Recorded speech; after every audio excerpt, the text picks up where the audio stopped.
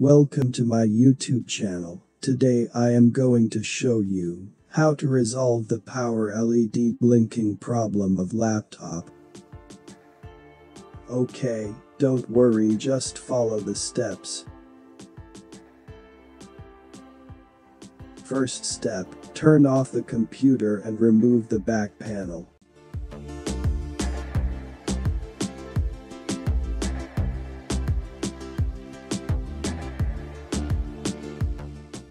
And remove the battery. After that, press the power button around 10 seconds. Don't connect the PC to power supply.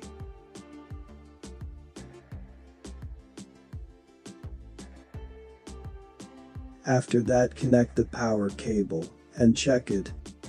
In this case, the PC turned on Otherwise, you can remove the hard disk, RAM, Wi-Fi card, and repeat this, that's all. Thank you for watching this video, please subscribe and share.